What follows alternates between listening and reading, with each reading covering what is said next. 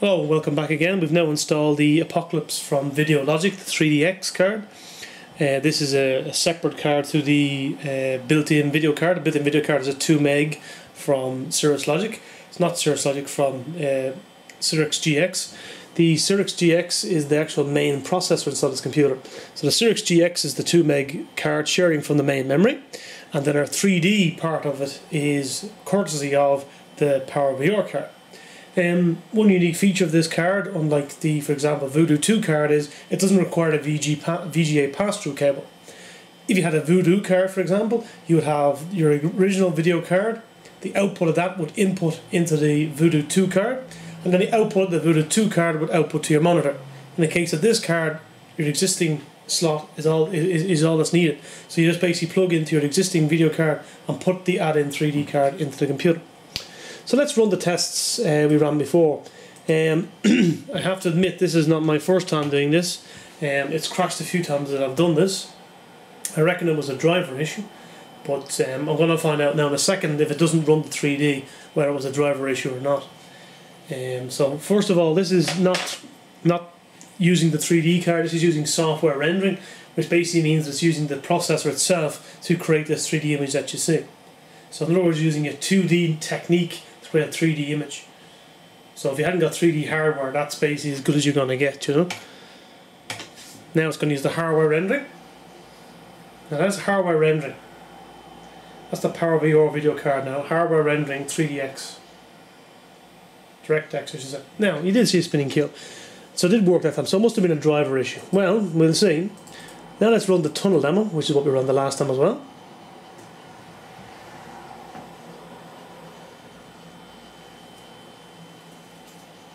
As you can see, it's running like a 486 would run if it was running Windows 98. Very slow. Okay.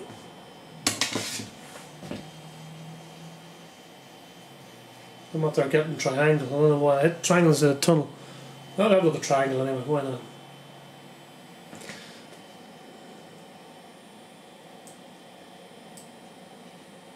Hmm.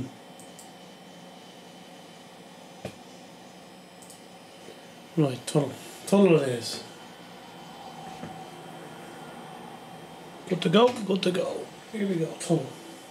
And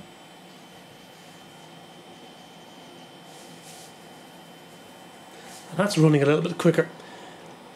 So basically what we have is we have a 3D card sitting on the uh, bus of the 486 motherboard as it were. So we'll go full screen with this baby and see what happens. Close down these windows. See if it'll let me multitask. Okay.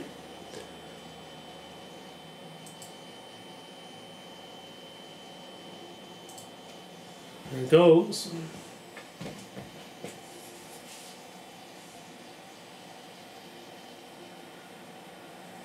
And there we have it. So basically it's a 486 running um, the PowerVR card. Okay, it's a 486 clocked at 133 megahertz, but you can say the same thing about the AM380, the AM486, uh, AM, AM sorry AM586 uh, 133. So this is the Cyrix's version of it, I suppose. So there, there's 3D running. Can't argue with that now. That's 32.46 frames per second. now what we're going to do is we're going to run um, the uh, Unreal game. See how it works.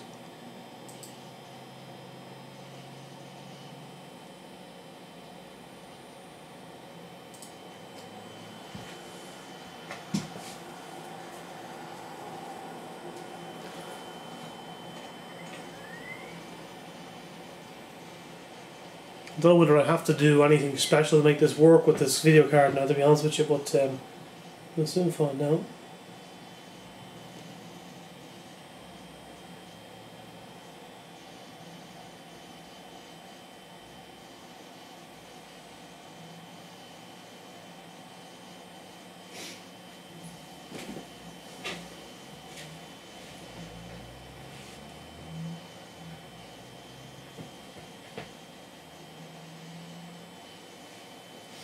One of the things I actually liked about Unreal was the soundtrack to always like that.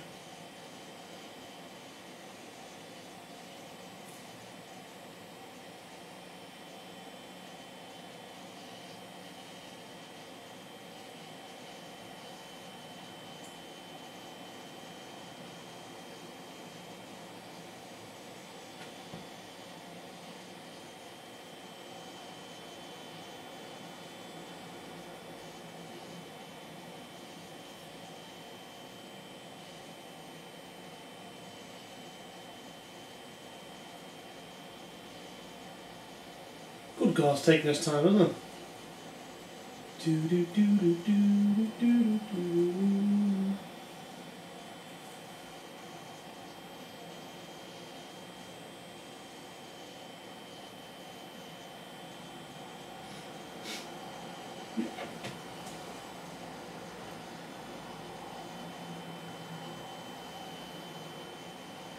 Ah, I see that the uh, resolution has increased. I haven't done anything, it's just doing it automatically.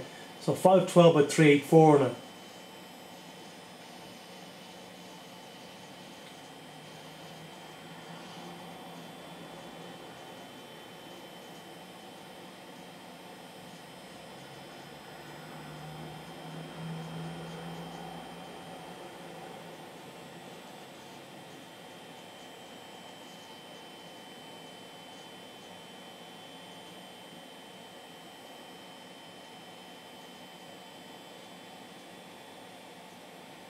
Hmm.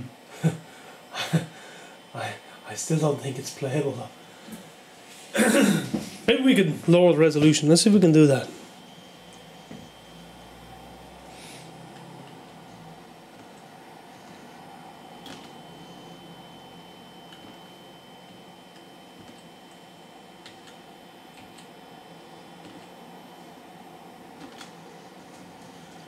Right, 320 by 24. I think that's what we had it set to uh, by default when we last ran it. I'm not sure though, I think it was that. Yeah, 320 by 240, that looks kind of familiar.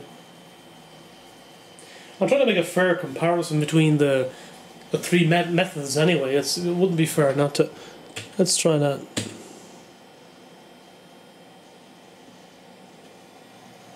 Hard drive is running quite a bit, that's another thing I'm noticing.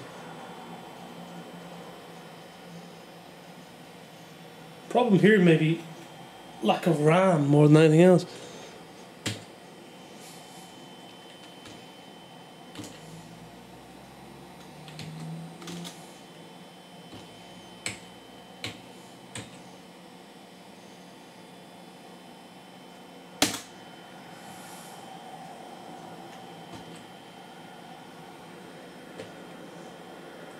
Let's try run the game, see what happens.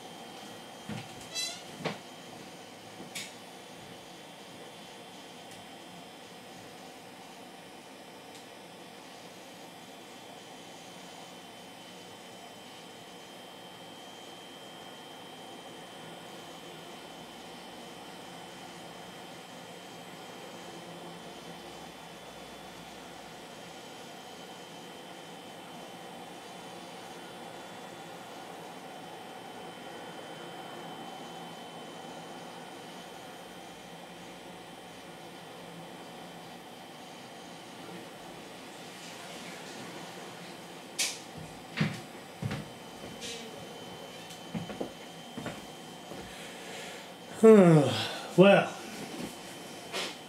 one thing's for certain, you wouldn't want to be relying on this computer to, you know, do any folding, I suppose. You know? Um, one side note, um, I did actually have a couple of Cyrix chips in various machines over the years, but um, I was never very impressed with their actual speed. Um, the Intel and the AMD, AMD was a direct copy of the AMD of the Intel architecture. Uh, one of the reasons how this was possible was because of the fact that uh, AMD used to build the chips for Intel, whereas Cyrix was what's known as a clean room processor. So um, I can explain to you in another video if you like how that actually works. It's very simple. But uh, first of all, let's um, see how this plays here. Um, I haven't got the sound because I haven't figured it. Oh, I forgot it's these keys here, I think, isn't it? Yeah. Ooh. You know, this game might just be playable if I could. Um, it might just be playable if I could uh, put more RAM into. I think the problem here, I think our problem here really is the lack of RAM.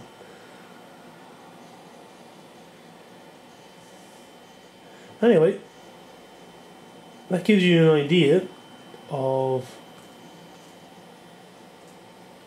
486 running this technology. Whoop, I'm falling off. it's a bit, uh, it's a bit choppy and jumpy. But you know what I mean. 3D can be rendered with the right hardware.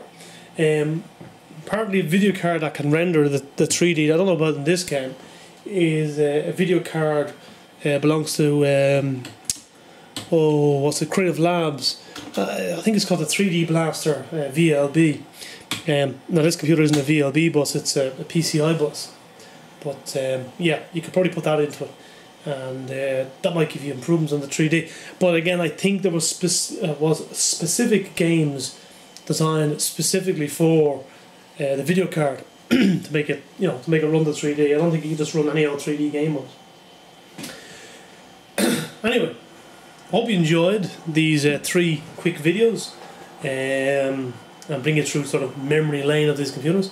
If you have any suggestions, any requests, or anything you'd like me to try with this machine, um, please do let me know. I do have a, a good range of video cards, so you know, suggest something or suggest well, some way I can improve it. Probably the simplest way to improve it, make it a little bit better, is probably take the RAM out of it and increase it to 64 megabytes. Um, I reckon if we've done that, we may just have the speed advantage we're looking for. Um, then again, we might not. It's still a 486 base machine with a, you know, it's like like having a, a big boxy Lada slash Fiat and putting a Porsche box engine into it. It's really not going to go any, go very fast because the fact that the aerodynamics are going to stop it from going as fast as a, a Porsche will with its aerodynamical capability. So it's the same thing. Great engine, but in a bad situation. Okay, I'll uh, say au revoir.